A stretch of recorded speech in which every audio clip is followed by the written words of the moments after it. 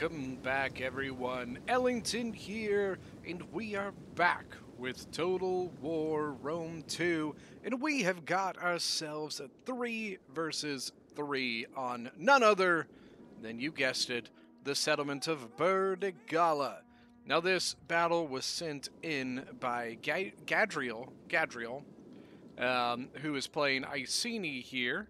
Now, his allies in this fight are we have got Saba being commanded by Holy Banana, and we have got Masaesyli being commanded by Wild Sweet. Now, for the attackers, which right off the bat you can see we do have a massive Sally out as well as some Guerrillas. We've got Arverni being commanded by Emil. We have got Bactria being commanded by Jack, Jack something. I can't remember the rest of it. And then finally, somewhere we have Boii. There's Boii's artillery being commanded by Amin. Amin, I think. So, what we've got going on here, you can see we've got Masaesyli with the Guerrilla Deploy Numidian Light Infantry coming in and engaging Arverni's units. What that is then allowing to happen is the Iceni chariots are able to get into the line of the enemy with less casualties because they can't throw javelins, they can't go shield wall as, as well. Um, it just overall is a far more successful thing. Then we could see Saba's camel spearmen coming in and getting behind Bactria, getting into his elite Persian archers. Got some Celtic warriors trying to come help out, as well as a heavy horse coming in hitting the back of the desert levy. But here come the big guns from Saba. We've got Sabaean Camel Cataphracts on the field of battle now. Um, Bactria is going to have a tough time because their Bactrian Hillmen can't deal with this. And, I mean, the Scale Thorax Hoplites will do fine enough, but they don't have Javies. So that's going to be the toughest part is it's one of your best defenses against cavalry is Javelins, and Hoplites don't get them. More Chariots coming. Oh, this Chariot's about to get a ton of kills. Coming in on some Archers. There's nothing these archers can do about it. Just got to keep them moving. Keep on going. Keep on going. He's already at like 200 kills. 257, 266. Oh my god. He's getting so many kills on just this one chariot. The other chariot, I think it did relatively well. 370. Oh my god. No shield wall from the chosen swords and they're so blobbed up. Oh, this is just a heavenly sight for chariots is to have big blobs like this, um, especially when they're not using things to their advantage like shield wall. Now, so that means the chariot literally just gets to go ham on these units here. The archers, there's nothing they could do about it. There you go. Now they're popping the shield wall, so that should slow down the chariots a little bit, but you still have a lot of juicy targets back here. Oh my god. Silver Chevron, 700 and 800. Holy crap. No shield wall from this chosen sword. They're still going. God almighty. The cab back here, you can see, look at 328, 189. You can see back in the background, we got more stuff coming in from the other side there. Chariot's going to break. 969, 971. Is he going to hit a 1,000? Oh, he was about not to. There he is. He got it. Look at that. The 1,000 kill mark on a chariot. Not something you see too typically often, and usually when you do, it's it's it gets like when you have player drops and things of the such. Um, from what I understand, this did not have any drops in it. And even then, look at the Camel Cataphracts, 426. Is the other one still alive? Yeah, I think the other one's gone. So Bactria looks like he has dealt with his side. Arverni is really, really beat up, and they still have more coming. Armored Desert Chariots from Masaesyli, as well as more cavalry from Saba. Getting ready to come in, and you still have some Masaesyli guerrilla deploy units sitting here too. Not sure why. So they they engaged one unit here, but they're not they're not stopping it from being surrounded. I'm a little intrigued by that. Now they're just going to use that lose that Numidian light infantry for nothing.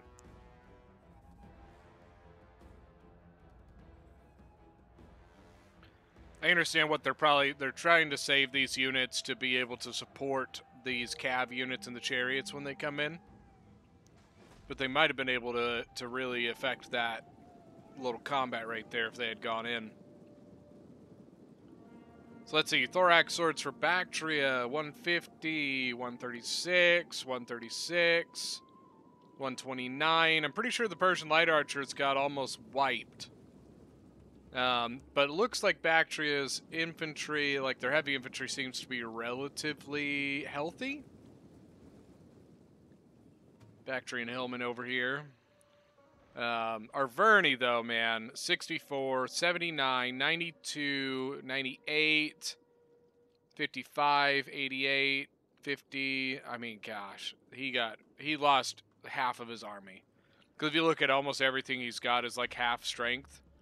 So he lost half of his army in that. And almost, I'm pretty sure all of his archers. If he has any archers, it's just like, you know, a couple here and there.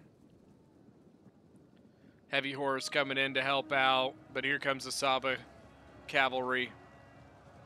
Celtic warriors just going to get disintegrated. It's 35, 38, 40, 42 kills on the charge. Artillery just folk is now just shooting straight at the cavalry. Not even thinking about his own men that are in there. He's just shooting right into it. 98, 100, 102. The other cav unit, zero kills so far. The other armored desert chariots haven't even come in yet. This has been a fiery beginning to this battle. Where's he going?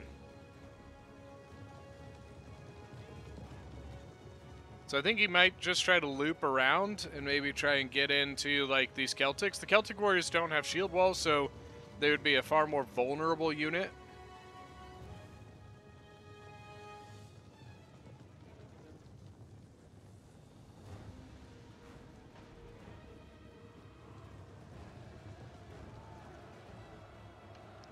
Oh, Javi tosses. Ow.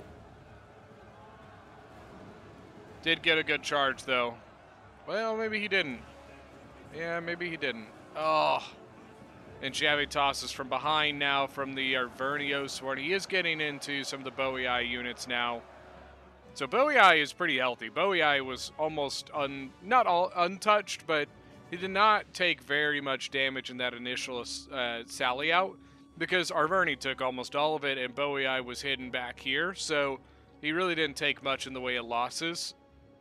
I think majority of what he did lose was just like low tier Celtic warrior type stuff. But here come the chariots. Let's see how he handles this. So take your position. Masaesyli making the right call again. Going in with the infantry. Get stuck in, then send the chariots. He's going to come right down the line. No shield wall either from Boii. Now he's going to get into the back lines. Oh no, they're all out of position. Oh man, this could be rough. Got a bunch of Celtic bows. All the infantry's out of position. 142. Nothing else so far. 182. Now, if they can get Javies on them, they can finish this quick. Is it two chevrons? Because he got a lot of Oathsworn. A lot of this was Oathsworn back here, so... Now he's broken, but there is the possibility he could come back. 258. Might get a couple kills on the way out, too. No, doesn't look like it.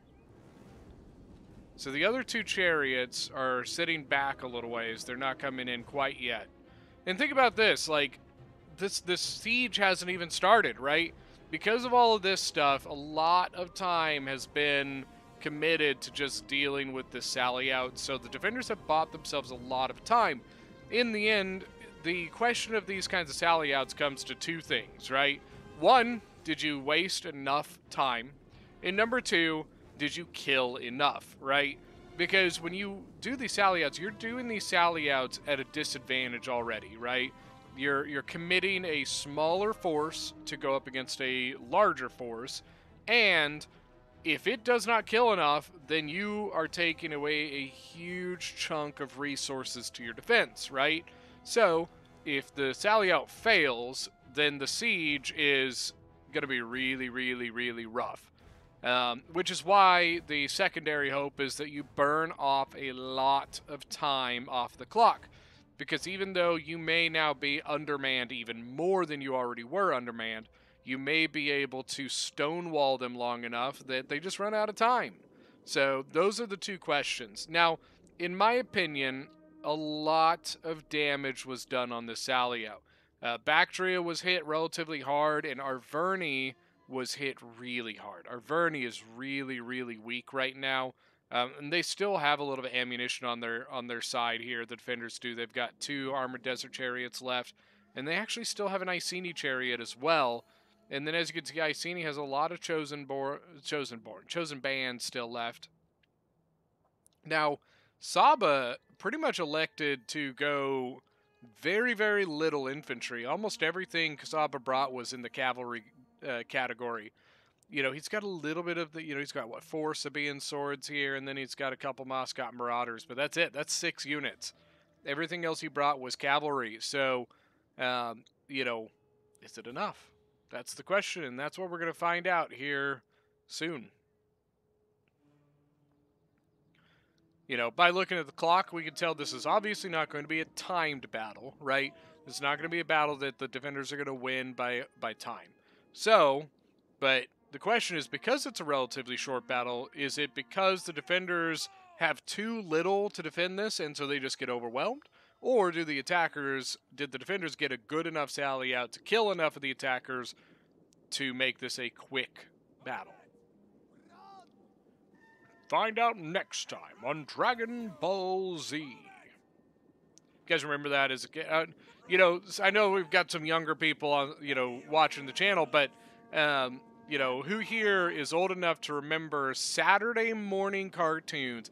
the only time kids would willingly get up early, early in the morning was on a Saturday, not even on school day, but on a Saturday, so they could get up and watch Saturday morning cartoons like Dragon Ball Z and Pokemon and Digimon, you know, Yu Gi Oh! Yu Gi Oh! You know, stuff like that. Who here remembers that? And if you do, what was your favorite? Put it in the comment section. I want to know. Here we go. The Armored Desert Chariots coming back in. Doesn't look like these ones are doing well. This one's doing pretty good, 229, 230, but this one's getting beat up pretty bad. 54. It's already at half strength. Looks like Boii was pretty well set up for this one, and so these have been taking a lot of javies. 102 kills. 330. This one's doing pretty good. This one was able to kind of get in on the groups this one looks like it got focused down by Javies.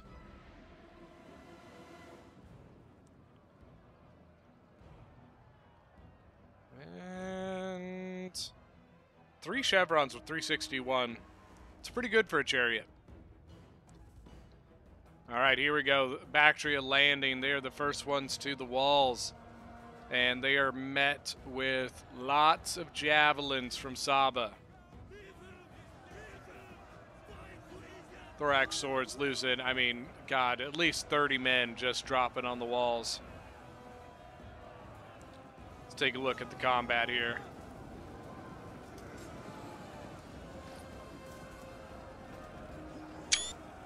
Of course, got to get some screenshots.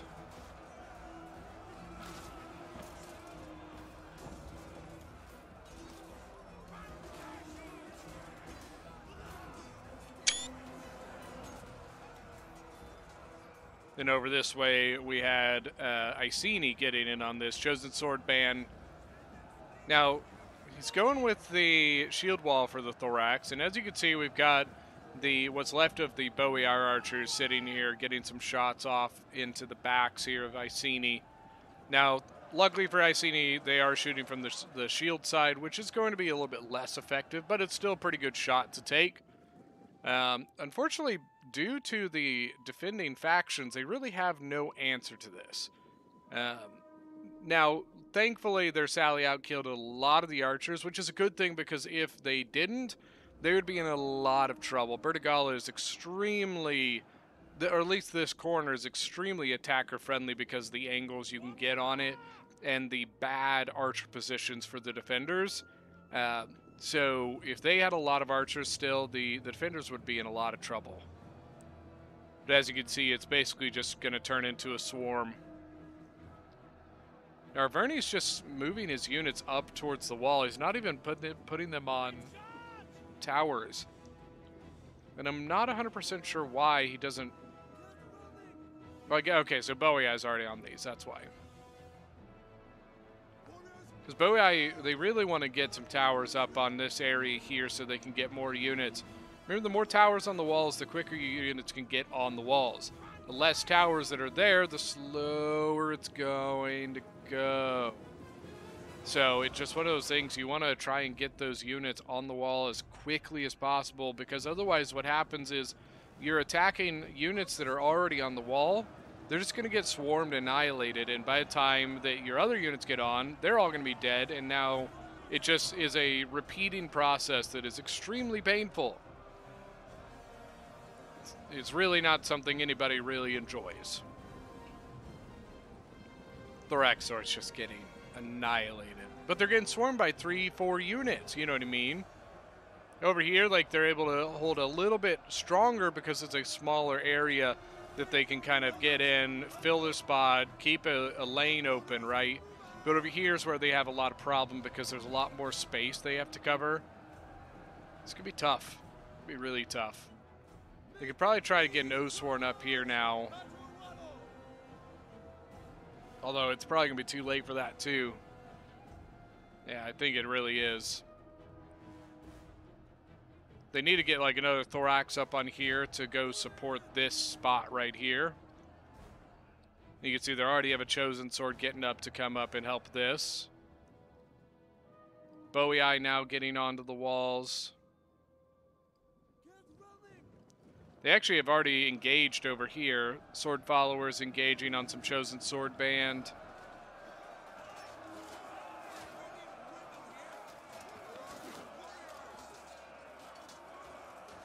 I love the, the stark green and blue contrast. Yeah, blah, blah. I can imagine the like voice actor calls. Okay, so what we need for this game is we need some uhs and oohs and uh, some you know generic battle sounds you know, so I could imagine all the voice actors on there. Okay, so you want me like, so should it be more like a ah or more like a ah? You know, no, nobody. I I, I think it'd be hilarious to listen to. Could you imagine just going and uh, you know all you have to do is sit behind behind this microphone and just scream and yell and in rage. I feel like I'd be pretty good for that. I should try it out. Pretty good at screaming and yelling and yelling in rage. There's so much here. They they've condensed themselves to this small area and now the defenders are just able to pile up units there. No artillery to stop them like ugh. Looks like they are thinking about coming over this way, but I think it's a bad idea. This area, well, I mean, they might... It basically comes down to this. So it's mono a mono, right? They have one, two, three versus one, two, three. But, now the question comes in, what about quality? Thorax, Mascots, I would say in the end probably just kind of cancel each other out. Bacterial Guard is better than the Sword Band. Then you add in, well, positioning. So obviously defenders have the wall. So as soon as these guys land on the wall, they're going to get javied to hell. So that's going to lose them 15, 20, 25 men right off the bat. Then they're going to get charged by Mascot Marauders, which is going to get them probably 30 kills on the on the charge. I say the winner. I think the winners in this situation are going to be the defenders over on this position, which is why I think it's a bad idea. Ooh, the Camel Cataphracts came back 300 kills. When I say came back, like they're being annoying again. I yeah, I think this is a done deal as a whole. I hate to say it. Hate to call it with a couple minutes left, but I just don't see any way that this becomes a, a attacker win at this point. No charge. And he, he uses his frenzy charge but doesn't charge.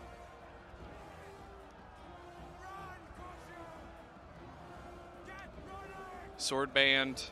Looks like they're trying to kind of like reposition. What I would do is I would put the sword band in, pull the Mascot Marauder back, then charge it again and get the actual charge you should want. Yeah, they didn't get as much in the way as I thought they would. I'm a little surprised that they didn't get as many Javies off in the beginning. I'm not sure why. Wonder if possibly the maybe Fire Will turned off uh, on accident in the beginning or something. I'm not sure. Boii and Arverni just getting surrounded on the other side. Yeah, this is going to be a, a, rough, a rough ending. But I tell you what, you really can't pass up a uh, thousand, thousand kill chariot. That's for sure.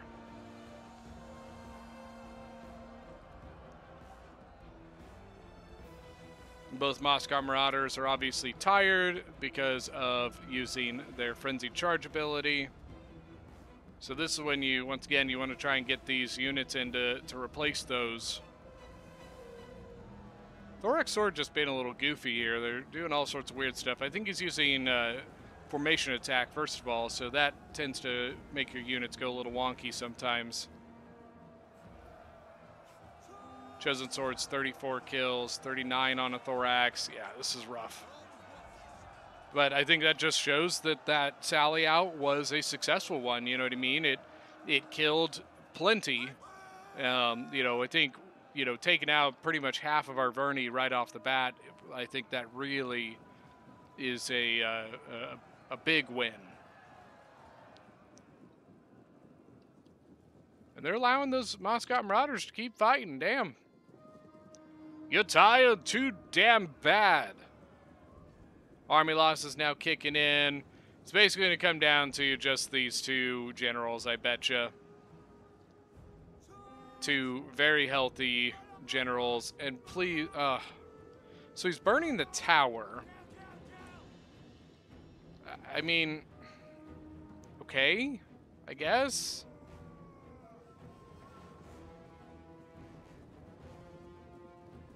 Not really sure what that's really gonna do for you in all reality. Then are you gonna burn the other tower now? Looks like Masaesyli looks like they're about to march right out this gate and go right into this combat. Don't do it, Arverni. Don't do it. It's not worth it. Oh, the Saba General broke. Shattered. Very interesting. Mm, indubitably.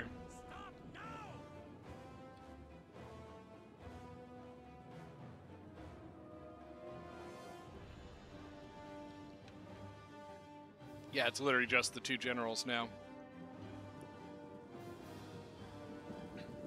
Don't go, don't. Just. Orderly. So Arverni's going up this tower, and now Boii is going to go up this tower. And we're about to see a massacre.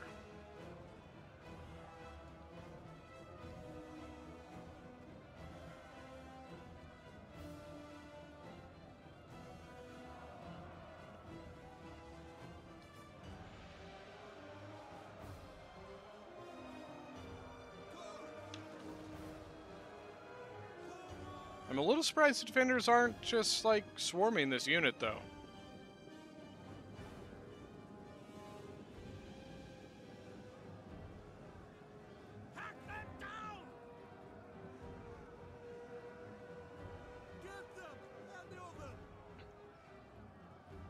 They're letting him like form. Well, they're jabbing the crap out of him. Don't get me wrong, but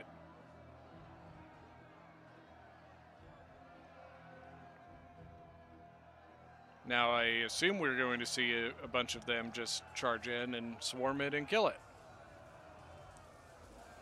Nope, they're just going to give him a slow, painful death. But as you can see from the timer, that is going to be it for this. You can see the Arverni General gone, and the Boii General soon to follow. And that is a GG. Let's go look at some kills here real quick. So first off, we have got Wild Sweet as Masaesyli with 1735. His three chariots doing very well. This one probably could have done a little better, but doing very well. But his army's super healthy. He barely saw combat. Uh, Holy Banana, 25-27 as Saba. Uh, Cab did pretty good. 312, 428, 423, 194. Pretty solid. Infantry, you know, some of it's pretty healthy. Um, a couple saw some combat.